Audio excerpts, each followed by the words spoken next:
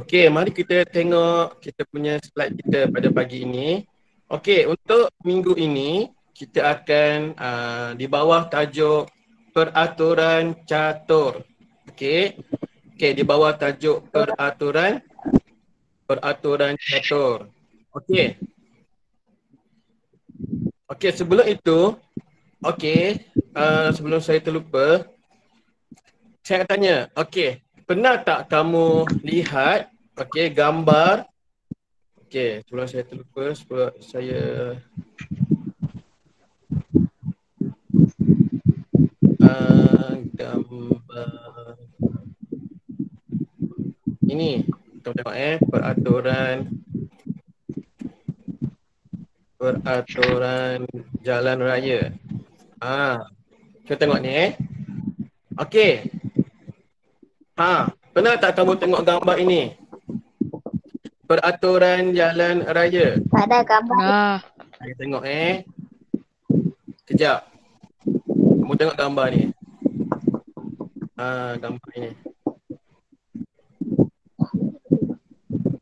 Ah ha, nampak tak? Amalan cermat, jiwa selamat. Ha.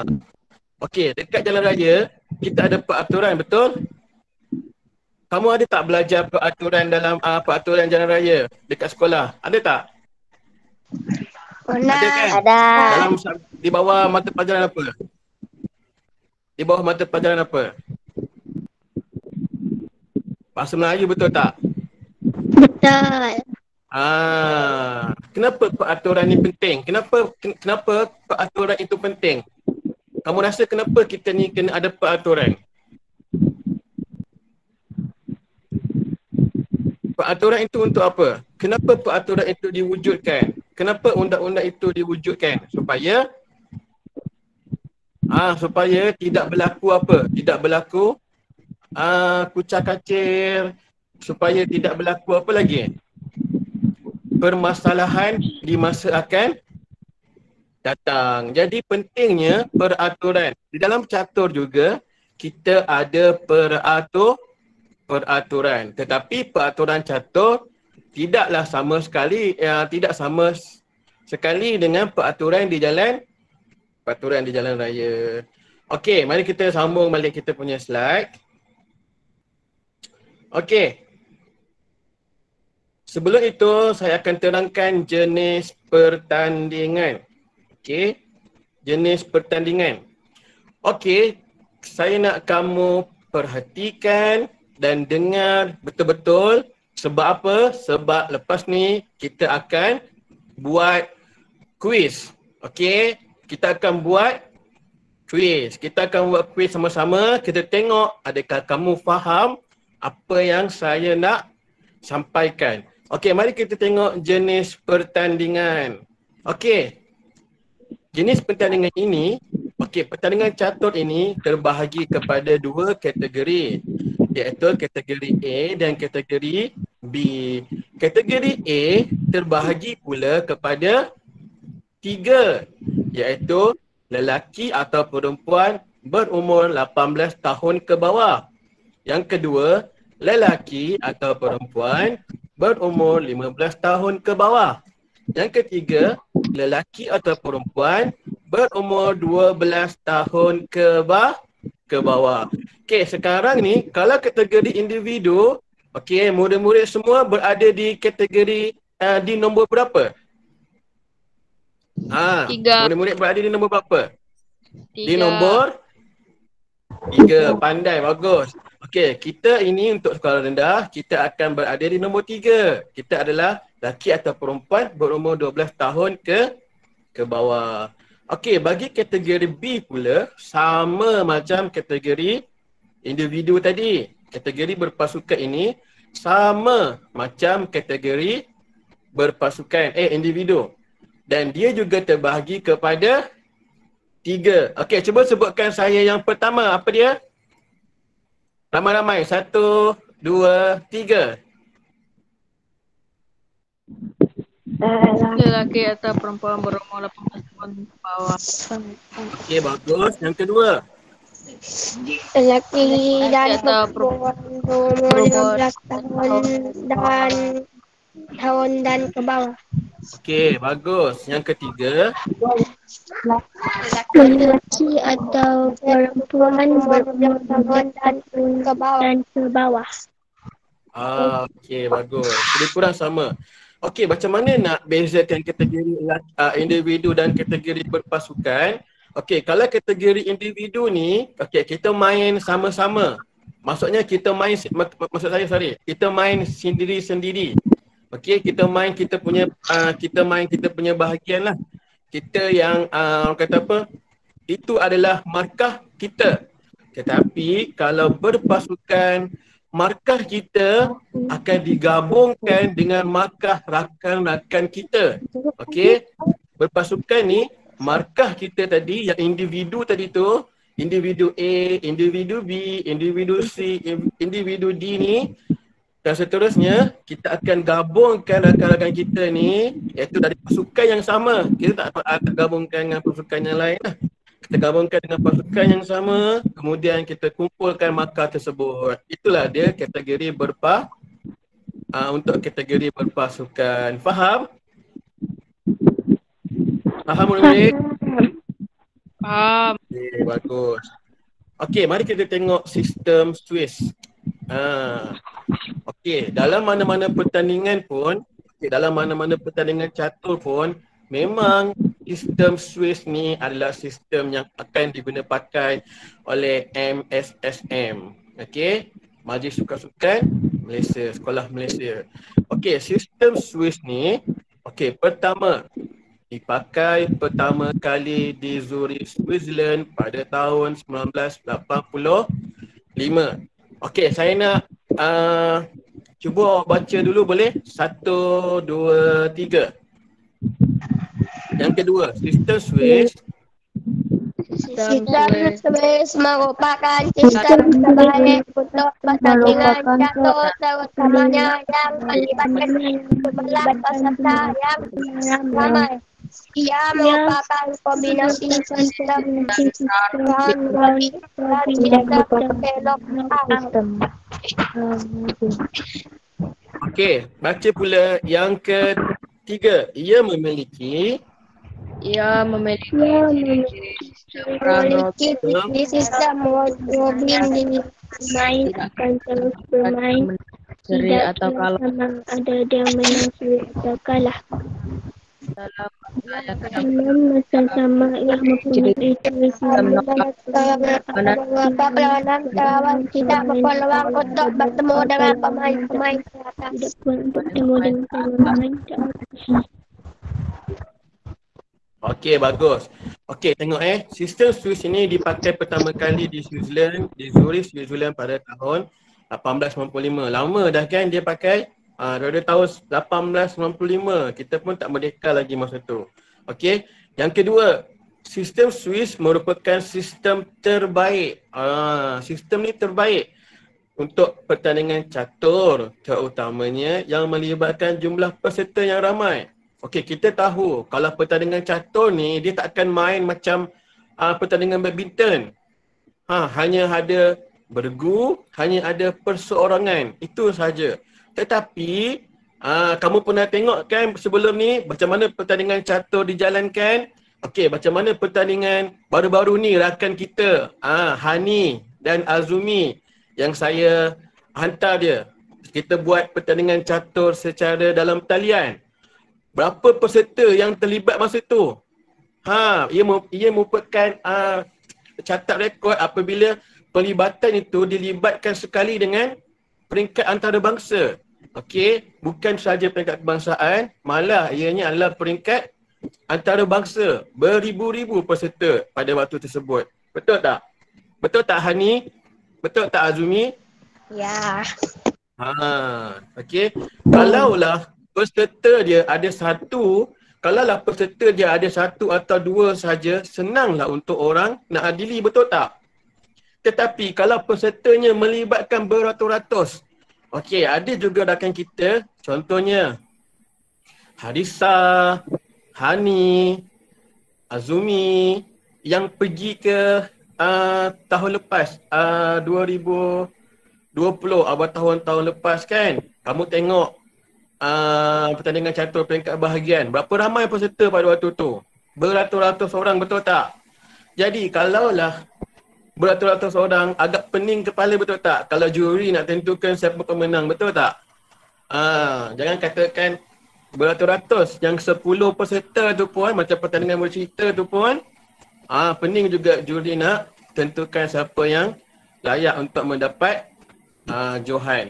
Apatah lagi catur. Okey, apatah lagi catur yang melibatkan ramai peserta. Okey, ia merupakan uh, kombinasi sistem round robin dan knockout. Maksudnya dia akan main, main, main, main, main, main. Dia akan A akan lawan dengan B. A akan lawan dengan C.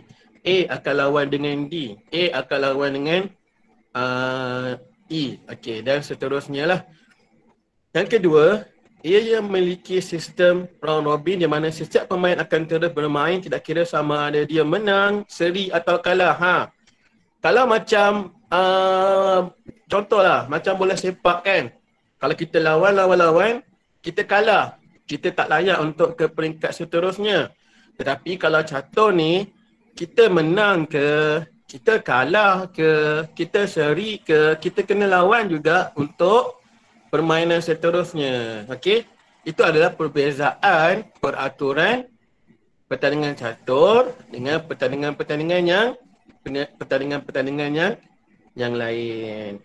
Okey, dalam masa yang sama, ia mempunyai ciri-ciri sistem kena out di mana knock out di mana seseorang pemain yang kalah beberapa perlawanan terawal tidak berpeluang untuk bertemu dengan pemain-pemain teratas. Okey, kalau walaupun kita ini kalah, walaupun kita kalah, kita tetap akan bermain betul. Tetapi kalau kita kalah, kalah, kalah, kalah, kita punya ranking kita akan jatuh, jatuh, jatuh. Okey, jadi susah pula untuk kita berada di tangga yang teratas. Jadi awak kena kejar balik, kejar balik. Macam mana nak kejar? Awak kena apa awak kalau macam mana awak nak kejar? Awak kena apa? Awak rasa apa kelas? Kena kena menang. Ah, kalau menang baru dapat mata. Okey? Faham tak semua? Kelas, ada ke tak ni? Faham. Ah, bagus. Okey. Okey, mari kita lihat slide yang seterusnya. Peraturan utama sistem Swiss.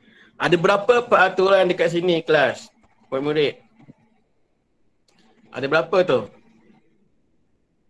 Ah. Empat. Ada um, ada empat. Okey, bacakan saya yang pertama. Satu, dua, tiga.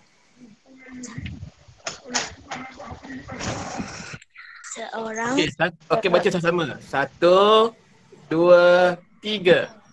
Seorang pemain tidak akan bertemu dengan pemain lawan yang sama lebih dari sekali. Kali. Terus Setiap yang kedua. Setiap pemain akan dipasangkan dengan pemain lain yang mempunyai mata yang sama atau kewenangan yang sama. sama. Boleh bolehnya setiap Pemain akan diberi sabar dulu. Saya tak cakap lagi yang ketiga. Sabar dulu. Okey. Sabar dulu, murid. Saya tahu awak ni excited ni. Okey, sabar dulu. Okey, mari kita tengok yang ketiga. Seboleh-bolehnya Seboleh-bolehnya setiap pemain akan diberi jumlah perlawanan yang sama banyak. Buat boleh dan tidak. Okey, bagus. Yang keempat, dalam sistem sistem ini, pemain-pemain akan disertakan mengikut tadi pemain. Atas akan dipadakan atau dipairingkan akan dipadatkan atau dipairing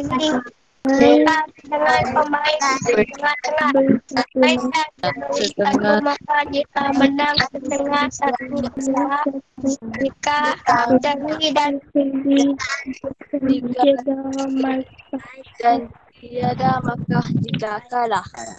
Okey, bagus. Okey, mari kita lihat uh, peraturan utama sistem Swiss yang pertama. Pertama, seorang pemain tidak akan bertemu dengan pemain lawan yang sama lebih dari sekali. Ah, tak boleh. Okey, memang kita tak akan bertemu dengan dia lagi dah. Okey. Macam kita uh, A, okey mula-mula kita akan A bertemu B, A bertemu C, A bertemu D, lepas tu seterusnya A tak akan bertemu lagi dengan B balik. Yang kedua, sistem pemain akan dipasangkan dengan pemain lain yang mempunyai mata atau uh, yang mata yang sama eh setiap pemain akan dipasangkan dengan pemain lain yang mempunyai mata yang sama atau sekurang-kurangnya hampir sama. Ah, jadi kat sini nanti awak nanti awak tengok eh. Jadi kat sini macam mana? Jadi kalau awak menang menang menang menang, awak akan dapat mata yang tinggi-tinggi tinggi betul. Bila mata awak tinggi, makin tinggi mata awak, awak akan jumpa juga pemain yang hebat, sama hebat. Tetapi uh, untuk yang uh, pemain yang mata dia rendah rendah rendah, dia akan juga bertemu dengan uh, apa kata dia? Mata yang rendah rendah rendah juga. Tetapi dia kena kejar balik untuk dapatkan mata yang tinggi. Ah, agak bila kita dapat makan rendah, agak susah. Kita akan kena struggle sikit. Kita kena usaha lebih sikit untuk kejar dengan pemain-pemain yang mempunyai markah yang lebih tinggi. Yang ketiga, seboleh-bolehnya setiap pemain akan diberi jumlah perlawanan yang sama banyak untuk buah putih dan hitam. Apa maksud dekat sini? Apa maksud dia? Okey, kita kan catat ada buah putih dan kita ada buah hitam betul. Okey, bila kita putih kita akan jalan dulu. Bila kita hitam kita akan jalan kemudian. Tetapi kita tak akan uh, kita tak akan uh, dalam perlawanan tu kita semua putih. Tak, dia akan dia akan selang-seli, dia akan selang-seli bagi seimbang. Mungkin tadi kita putih, kemudian kita akan jadi hitam kemudian kita putih balik, kemudian kita akan hitam. Dalam sistem yang keempat, okey dengar ya, dalam yang keempat, dalam sistem ini, pemain-pemain akan disenaraikan mengikut rating. Ha, mengikut rating lah tadi kan. Orang yang markah dia dah banyak, dia menang-menang-menang, dia dapat markah banyak, dia akan berada di rating yang tinggi. Pemain teratas akan dipadankan atau dipairingkan dengan pemain yang di tengah-tengah. Okey. Pemain akan diberi satu markah. Okey, dengar eh. Pemain akan diberi satu markah jika menang. Setengah jika seri dan tiada markah kosong jika kah kalau Okay, faham? Faham? Eh, kenapa tu? Faham. Okay, Um, mari kita lihat sistem yang seterusnya. Okay, macam mana pula kalau berlaku seri? Ah, markah dia sama lah. Okay, macam mana markah uh, seri? Okay, untuk markah yang seri, okay, untuk markah yang seri, kita akan gunakan sistem pemecah seri ataupun tie break. Okey, semua sebut satu, dua, tiga. Sistem Sistem pemecah seri. Satu, dua, tiga. Sistem pemecah seri. pemecah seri. pemecah seri. Ataupun kita panggil dia sebagai tie break. Apa dia kelas? Tie break. Tie Tie break. Tie Ah, break. Okey. Okey, nama sistem yang kita ada dua sistem. Okey, yang pertama nama dia adalah book horse. Book horse. Okey, dia bahasa Jerman eh. Ha, dia macam bunyi dia memang pelik sikit lah. Jangan jangan tanya saya kenapa tulis uh, bunyi dia macam tu. Sebab dia bahasa je Jerman. Dia ambil dari bahasa Jerman. Book horse. Macam tu. Book horse. Okey. Okey, saya nak kamu baca dulu. Satu, dua, tiga. Mata. Mata horse. jumlah mata yang dimiliki oleh Ialah pemain yang mata yang dimiliki pemain A bertemu dengannya. Okey, contohnya maka mata pemain A hanya eh, bertemu dengan pemain B, C, D. E, F, G, Maka maka ber- oleh B pemain pemain dan B, C, D, E, F, G dan A.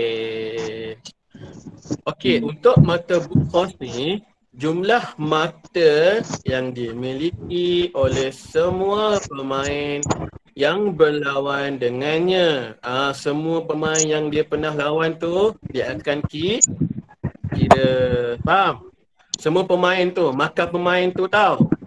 Okey, pemain A, contoh eh, pemain A bertemu dengan pemain B, C, D, E, F, G dan H. Maka mata book horse di pemain A ialah dengan mencampurkan semua mata yang dimiliki oleh B, C, D, E, F, G dan H. Contoh B ada tiga mata, C ada 2.5 mata, D ada empat mata, E ada lima mata, F ada enam mata, G ada lima mata dan H ada 4.5 ma mata. Maka mata book horse untuk pemain A selepas tujuh pusingan ialah 30 mata. Ha. Okay, tie break ini digunakan untuk mengukur kekuatan pemain kerana dalam sistem Swiss kebiasaannya pemain akan sentiasa mendapat per, pasangan lawan yang sama mata. Pemain yang kuat biasanya akan berlawan dengan lawan yang kuat. Okey, biasanya Yelah, bila kita ni kuat, okay, kita pun akan dapat mata yang tinggi. Tetapi ada kalanya mata kita ini akan seri dengan kita punya lawan kita. Jadi macam manalah kita nak dapatkan, uh, jadi macam mana kita nak tentukan ni? Uh, sebab tadi kan kita kira menang satu mata. Kalah. Kalah tadi berapa mata? Kalah tadi berapa mata kelas? Ha, berapa kelas? Kalah tadi berapa? Ha, fokus ke tak fokus tu? Ah, kelas siapa tahu kalau menang satu mata, kalah tadi berapa mata? kosong Ha? Kalah tadi berapa mata? kosong Ha, kalau seri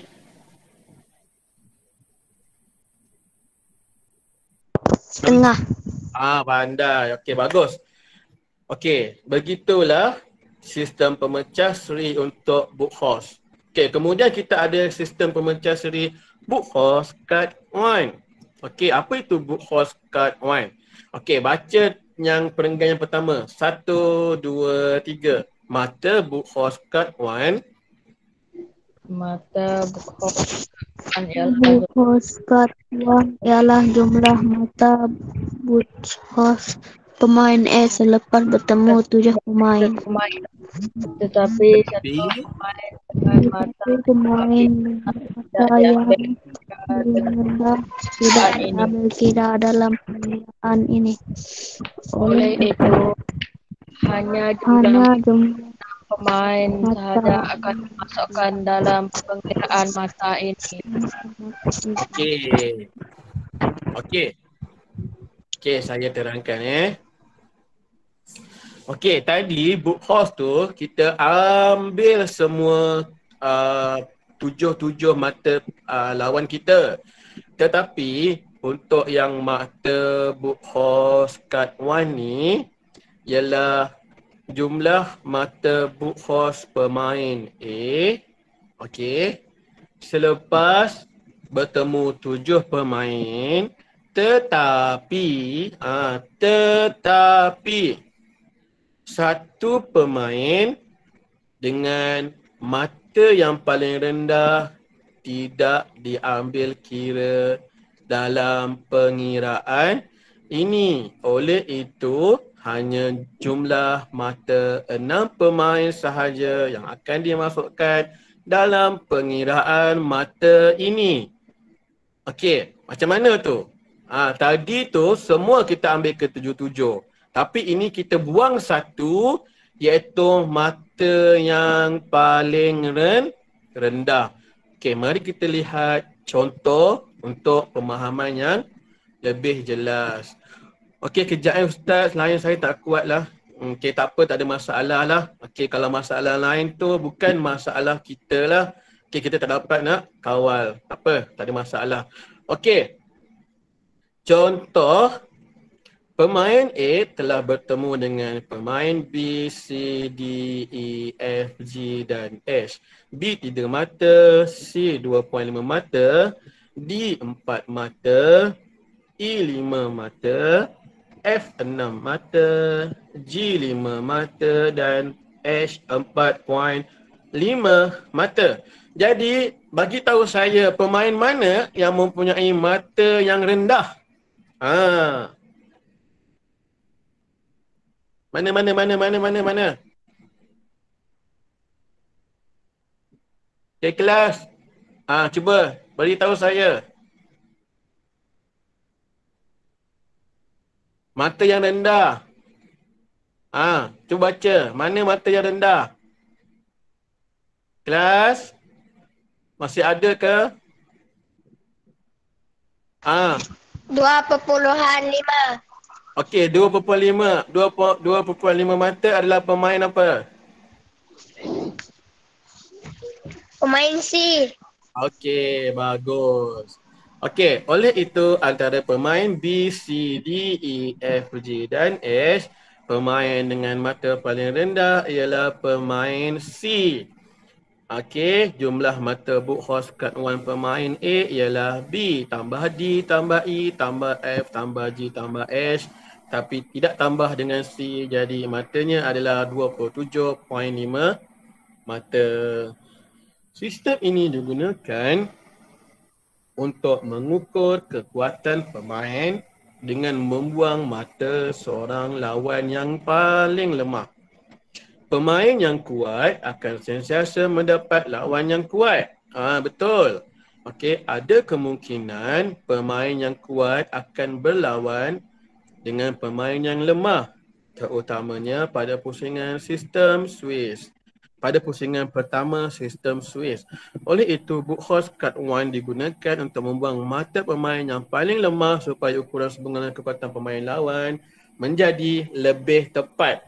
Okey, biasa murid-murid, kadang-kadang bila kita ni kuat, kita ni hebat, tapi bila kita jumpa dengan pemain yang lemah, itu adalah suatu kelebihan kepada kita sebenarnya.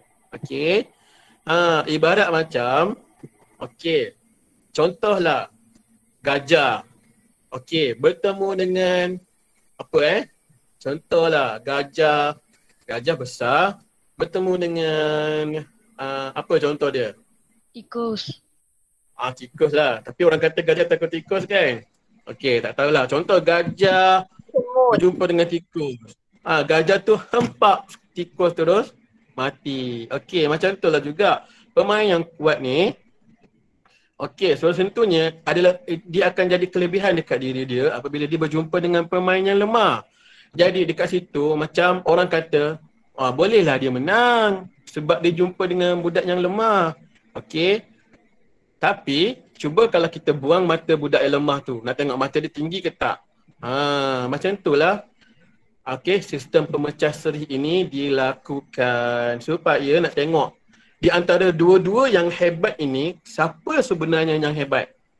Ah, begitulah sistem Pujols Card One ini berfung berfungsi. Okey, kelas, cuba ulang balik. Ada sistem ada sistem pemecah seri ni ada terbagi kepada berapa kelas? Pertama tadi apa? Ah, pertama tadi apa kelas?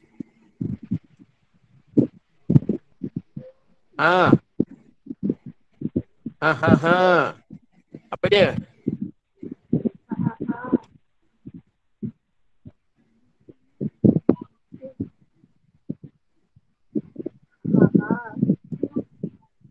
Ha? Kita dengar suara.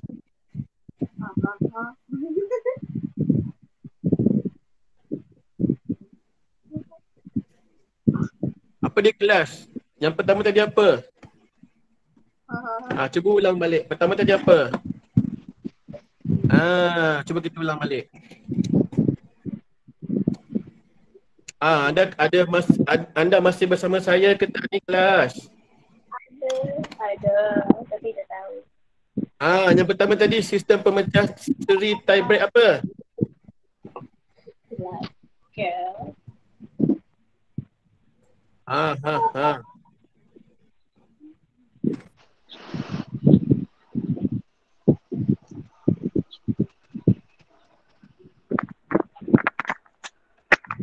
Ah, yang pertama tadi adalah sistem pemecah seri. Eh, dengar tak suara saya? Dengar. Dengar. Okey. Okey, yang pertama tadi adalah sistem pemecah seri Brooke-Hawes.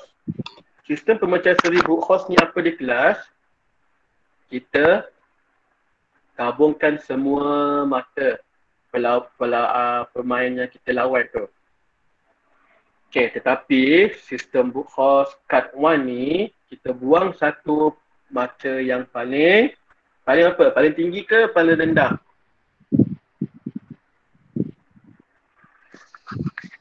Paling apa kelas? Tinggi ke rendah? Rendah. Dah. Paling? Paling rendah. Okey, bagus. Okey, bagus. Terbaiklah kamu ni. Okey, insyaAllah. Ah, tibalah masanya kita nak buat quiz. Okey. Sekejap eh, saya akan cuba copy link ni. Letak.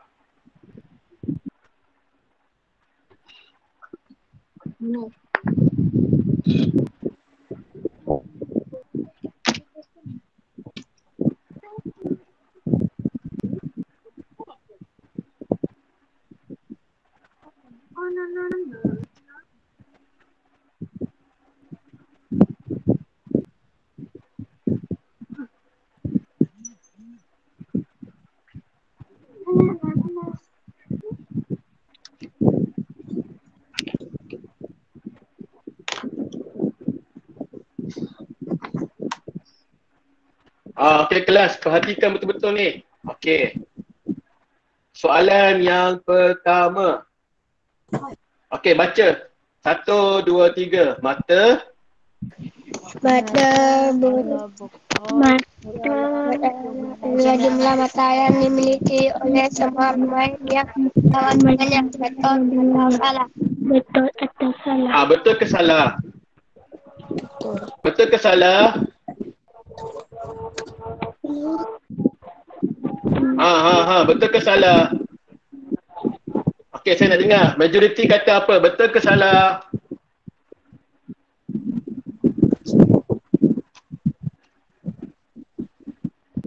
Ah, kelas.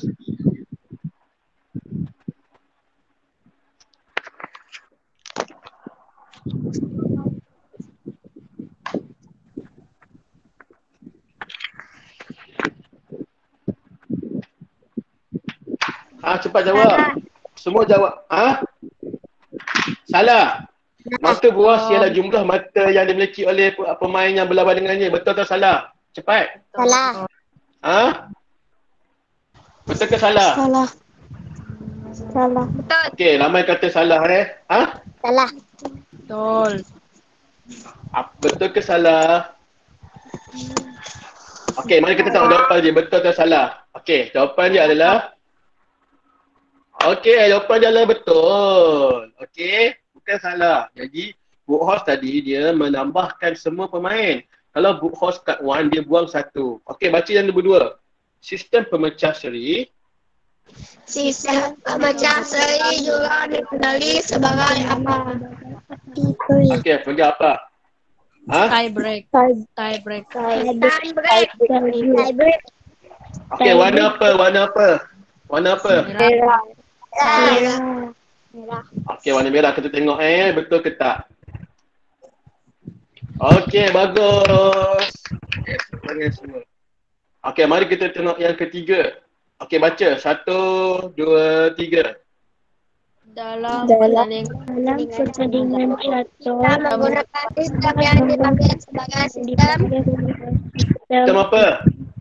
quiz Kuis Okey, warna apa? biru. Biru Okey, warna biru eh. Kita try. Okey, tengok betul ke tak. Okey, bagus. Betul. Okey. Seterusnya. Ha. Baca. Satu, dua, tiga. Di di dalam dalam sistem pemain yang memakai gambar Beri berapa markah Okey, berapa markah? Pemain yang menang diberi berapa markah? Ah, kelas. Ingat tak saya bagi tadi berapa markah kalau menang?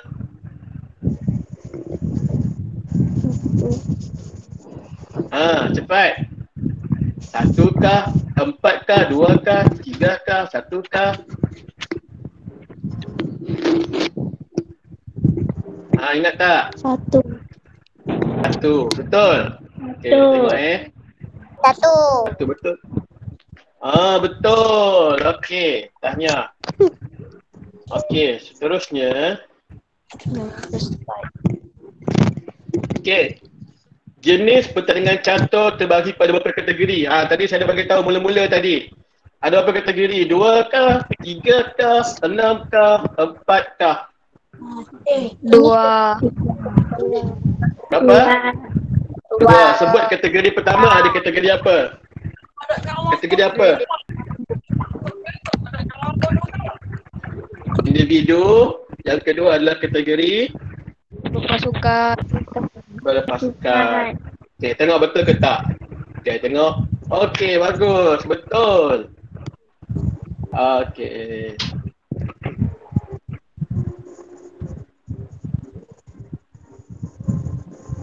Okey. Yang keenam. Dan yang terakhir. Okey, baca. Satu, dua, tiga. Di antara Di sistem antara berikut yang manakah merupakan sistem pemecah seri? Okey, mana satu? book host cut one Bungkus Okey, kat betul. Betul ke? One. Betul ke ni? Betul. Okey, kita tengok eh.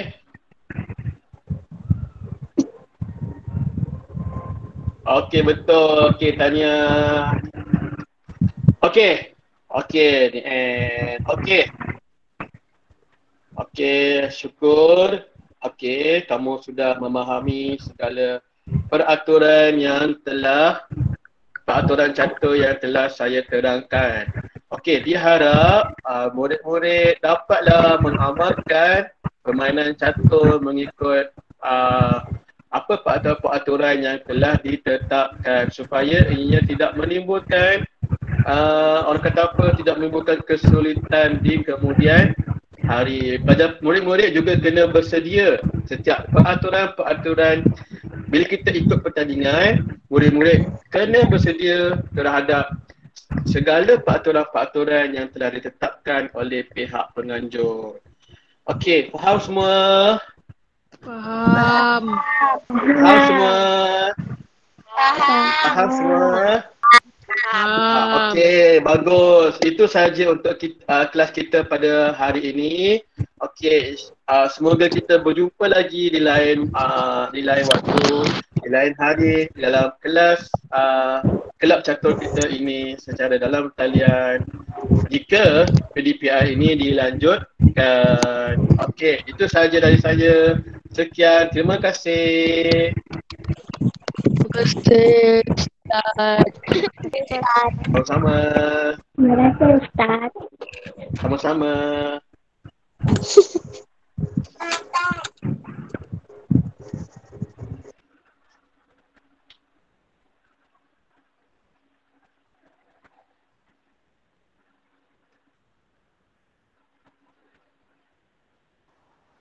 Mm. Assalamualaikum Ustaz. Waalaikumsalam doktor. Okey. Berapa semua sepatutnya ahli? Ahli 13 orang doktor. 13 orang ah. Yang join tadi? Yang dia cari dalam 7 orang. Okey, separuh lah boleh join eh. Hmm. Boleh lah Ustaz. Alhamdulillah. Okey lah tu, at least adalah pelajar pelajar yang yang join kelas ni. Okey lah dia satu itu merupakan satu kejayaan jugalah. Dan bukan sus, bukan senang untuk kita mengumpul mereka yang berada di rumah ni. Betul. Mm-mm. Betul, betul. Okey, itu dah satu yang bagus lah. Dah separuh tu dah kira macam excellent lah eh.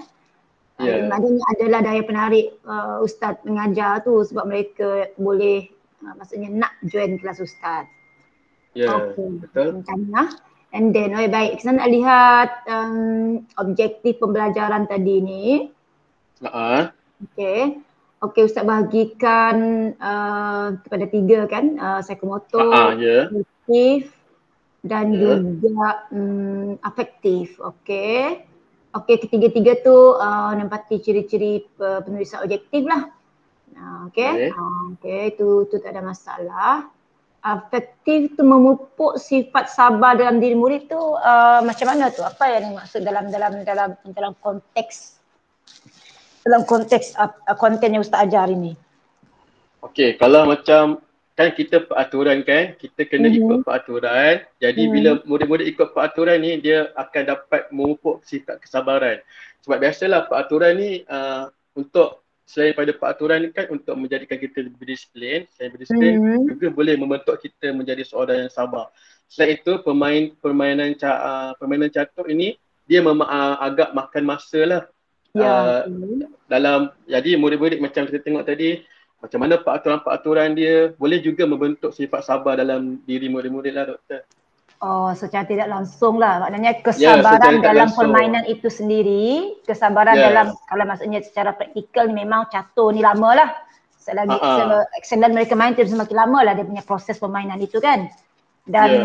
dalam konteks sekarang kita di BPNP tu macam mana uh, pelajar itu mengaplikan nilai tadi tu kesabaran dalam permainan itu sendiri dengan kesabaran ketika sama ada ketika proses PNP yang Ustaz jelaskan ini berlangsung dan dalam konteks kehidupan sebenar lah ya.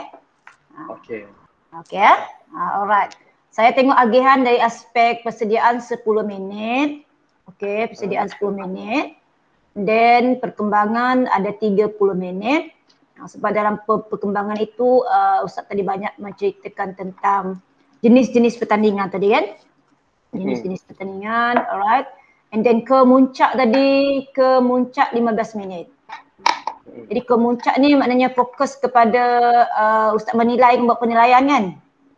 Mhm. Alright, okay. Hmm, jadi saya tengok, wow.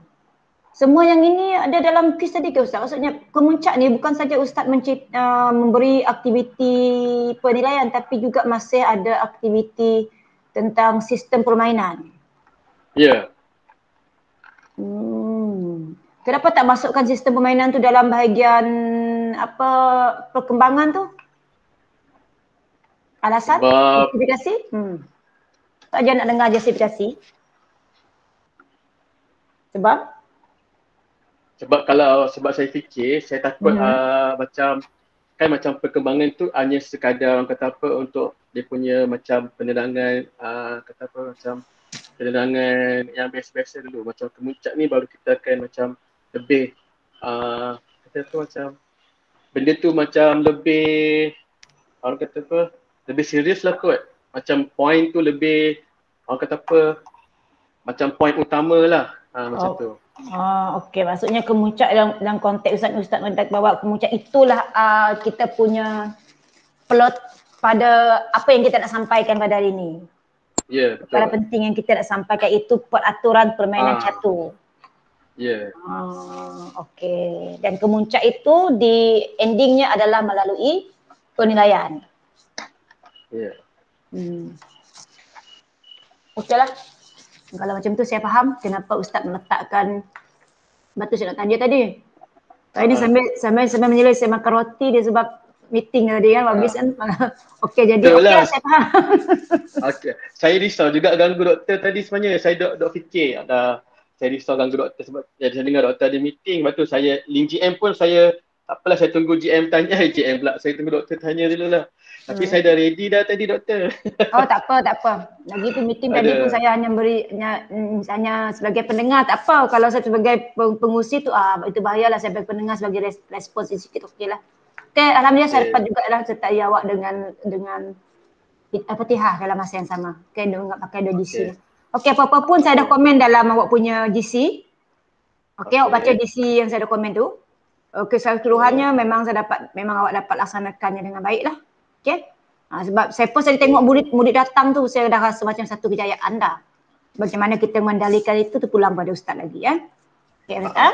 Okey, teruskan usaha dan minggu depan pun untuk yang minggu dep- untuk minggu satu lagi nanti uh, penilaian Koko ni adalah penilaian bersama. Eh. Ingat tu. Ada Okey. markah. Yang ini bimbingan saja. Okey doktor, boleh tak saya Hmm. ada Okey. tanya soalan? Boleh, boleh, boleh. Ap- ka- kalau macam doktor, doktor tanya tadi, yang kemuncak tadi, biasanya Hmm. kita akan uh, letak apa doktor? Macam saya nak letakkan tadi kemuncak adalah perkara utama. Tapi kalau uh, benda-benda yang selain daripada itu doktor, apa yang perlu kita letakkan? Maksudnya kat situ macam mana tu doktor?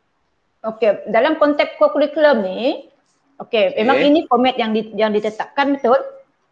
Ah, ah, ya betul. Okey, dalam dalam dia punya butiran tu dalam kemuncak tu apa yang ada dalam core curriculum? Sebab kami core curriculum ni kami tak ada dia punya RPS yang standard. Oh. Ah, okey, apa yang diletakkan kalau kalau dalam dalam core curriculum punya RPS? Baru Ustaz bagi tahu saya, share dengan saya. Sebenarnya doktor, Mhm. kalau ikutkan yang RPS Ko- Koko ni, Mhm. uh, apa kata, saya hanya tengok dia punya format tu, saya tengok format yang IPG beri saja. Ini ini Sebenarnya berdasarkan IPG. Mm berdasarkan IPG. Sebenarnya macam dia punya orang kata apa uh, RPS Koko ni sebab apa doktor? Saya jujur lah doktor. Mhm. Kalau okey. yang yang ko, masa Koko tu, masa SEM 1 belajar Koko, kita orang tak ada belajar RPS untuk Koko. Oh. Uh-uh. Baiklah. Sebab tu saya sebenarnya saya sebenarnya uh, saya sebenarnya macam tak tahu juga sebenarnya apa nak Nak letak. letak apa kan? Ah, sebab tu lah Hmm. tapi saya just fokuskan macam tu. Sebab RPS ni uh, tak pernah diajar, dia tak pernah diajar macam RPS kita buat RPS PA, RPS Pendidikan Islam kan doktor kan? Hmm, Betul Tapi betul. yang ni betul. saya tak pernah tak pernah apa kata tak pernah buat, just Hmm. tengok uh, contoh-contoh yang diberi saja doktor. Oh, ya betul. Dan kita kita buat berdasarkan pemahaman kita. Hmm, ya betul. Hmm, saya saya aku yang itu dan memang uh, memang tak difokuskan. Nanti boleh nantilah saya mungkin akan boleh cadangkan. Saya dapat input macam ni, mungkin saya boleh cadangkan supaya uh, Koko ni pun ada RPS yang ikut standard yang kita guna untuk latihan perguruan Yeah. lah kan. Okey, terima kasih atas input Ah. nanti, saya akan panjangkan dalam masa akademik. Ah cumanya bila Doktor. saya menilai Ah. bila saya menilai uh, kamu uh, dan ini kamu adalah yang kelima, yang keenam maksudnya. Jadi uh, Okey. bila yang sebelum ini uh, kemuncak tu mereka hanya meletakkan aktiviti penilaian saja. Sebab di situlah Ah. kita nak melihat pencapaian murid tu. Uh, maklum Okey, balas faham. adakah murid kita dapat tak input kemahiran skill yang kita ajar tadi tu sama ada melalui tunjuk cara ataupun juga melalui penerangan. Itu ending yang kita nak lah, climax yang kita nak. Maksudnya kita dah ni Okey. apa yang murid dah dapat daripada apa yang aku dah jelaskan. Ha. Okay? Okey, saya faham Ah. doktor. Saya faham. Boleh. Sebenarnya saya nak buat Hmm. macam tu doktor. Hmm. Saya buat macam tu juga tapi saya fikir yang dekat penutup tu Hmm. saya ingat nak beri aktiviti hmm, apa nanti saya akan baiki untuk yang akan datang lah doktor. Saya faham. Lah. Ya, ya, ya. Di penutup tu cuma kita nak rumuskan saja sebenarnya. Macam dalam konteks Oh. uh, RPS biasa, penutup tu dia ada kolektif yang sosial kan. Jadi penutup Ah, ah, kita ni ah, pun ah, sama ah. juga kita nak rumuskan balik lah. Kita nak rumuskan dari segi psikomotor ke, dari segi sosial, dari segi kolektif dia itu pulang. Nah itu penutup. Okey. Maksudnya Okey, kita dah okey. cooling down dah.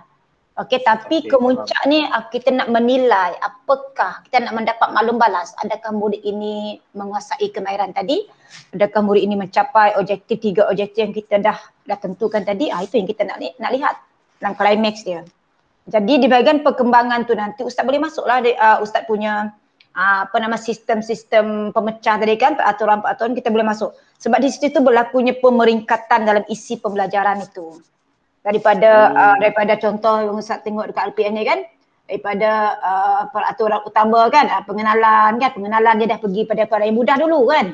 Mudah. Lepas itu kategori-kategori permainan itu dia dah dah, dah, tinggi lagi dia punya peringkat tu. And then uh, peringkat seterusnya tadi peningkatan isi tu adalah dari segi apakah peraturan-peraturan itu yang jenis-jenis tadi apa nak sebut pun ba- ba- bachelor kan bachelor tu tadi ke apa tadi tu kan ah jadi Bahasa ah, Jerman. Ah bahasa Jerman dia nak sebut pun tak pandai. Jadi ah itu menunjukkan dalam dalam peringkat perkembangan itu nak menunjukkan berlakunya pemeringkatan isi isi pembelajaran itu dalam khususnya bahagian pokok lah. Sebab kalau kita lihat dari segi uh, cara menilai pun dalam perkembangan itu kan kalau tadi borang penilaian kan uh, bahagian perkembangan saya saya rujuk teruslah borang penilaian ni kalau tengok perkembangan pengajaran tu macam mana kita nak uh, melaksanakan langkah-langkah itu. Ah, That's why saya kata tadi dekat bahagian perkembangan kita fokus pada uh, langkah satu dia apa, uh, mungkin langkah satu tadi peraturan permainan, jenis-jenis permainan yang pergi kepada peringkat yang lebih ting-